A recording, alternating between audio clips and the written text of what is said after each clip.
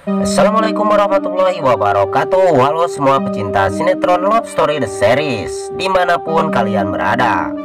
Tentunya jumpa lagi dengan Bang Mimin Yang akan membahas alur cerita Yang datangnya dari Love Story The Series. Di situ pun Argadana yang meleng bawa mobilnya. Ternyata di depan ada sepeda motor yang melintas mendadak di depan Argadana. Dan Argadana pun ngerem begitu cepatnya dan dia pun terperosok dan nyangkut mobilnya di got.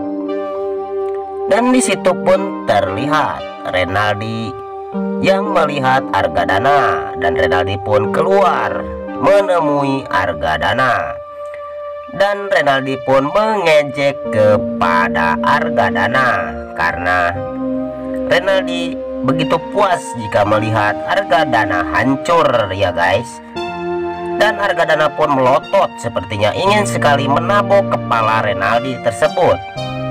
Dan Renaldi pun menunjukkan tangannya ke muka Argadana. Dan Argadana pun mulai emosi dan ingin sekali menyeret kepala Renaldi tapi dia pun dito dipisah oleh orang-orang yang dekat bersama dengan dia. Dan setelah itu pun tidak terjadi perkelahiannya ya guys. Dan Renaldi pun meninggalkan harga dana tersebut dan sebelum lanjut angka baiknya bagi kalian yang baru bergabung di channel ini silahkan tekan tombol subscribe dan nyalakan lonceng notifikasinya agar kalian semua tidak ketinggalan info terbaru dari channel ini.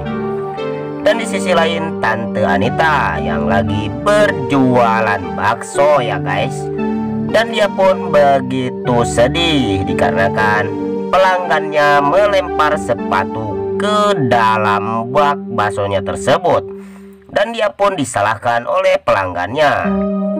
Dan di situ pun Renaldi pun datang menolong tante Anita. Dan dia pun mengganti atas kerugian yang telah pelanggannya lakukan itu ya guys. Dan tante Anita pun berpikir dan dia pun mulai menyadari kalau Kendra Wilantara itu anak yang baik-baik dan di sisi lain terlihat si Panesol yang begitu cemburu kepada si cantik jelita. Karena si cantik jelita tersebut mendekati Rama ya guys.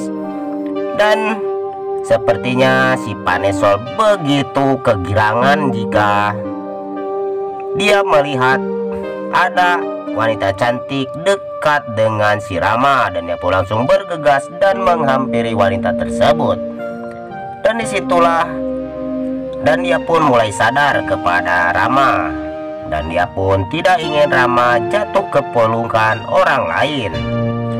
Dan sebelum lanjut ke pembahasan alangkah baiknya bagi kita semua untuk mendoakan sinetron Love Story The Series agar bisa bertengger menjadi rating nomor satu di SCTV ya guys dan mari kita doakan juga buat pemain dan kru sinetron Love Story The Series agar diberikan kesehatan dan dimudahkan rezekinya. Amin ya robbal alamin. Dan di situ pun terlihat Kendra Wilantara yang berusaha meyakinkan Maudi. Tapi usahanya selalu saja gagal ya guys. Tapi Maudi pun Kendra Wilantara pun tidak pernah gentar dan dia pun akan terus memperjuangkan cintanya tersebut. Karena cinta Kendra Wilantara hanya buat mau di seorang ya guys. Dan kita pun sangat senang jika Kendra Wilantara dan Maudi bersatu seperti yang dulu lagi. Dan di situ pun terlihat Harga Dana bersama Maudi yang membicarakan tentang perceraiannya bersama Kendra Wilantara. Dan sebelum lanjut lagi, bagi kalian semua untuk selalu dukung channel ini agar bisa menjadi channel gede seperti channelnya para tetangga. Dan kemungkinan akan untuk alur selanjutnya Semoga saja si Renaldi dan semua kawan-kawannya, Ibu Tiara, Dan si Panesol juga segera terbongkar ya guys tentang kebusukannya dan kelicikannya. Karena harga dana pun bersama Kendra Wilantara dan Pak Wilan juga tidak tinggal diam untuk mengusut kejahatan dari semua itu dan jika di dalam alur video ini ada kesalahan Bang Mimin mohon maaf yang sebesar-besarnya di sini pun Bang Mimin pamit undur diri. Wassalamualaikum warahmatullahi wabarakatuh.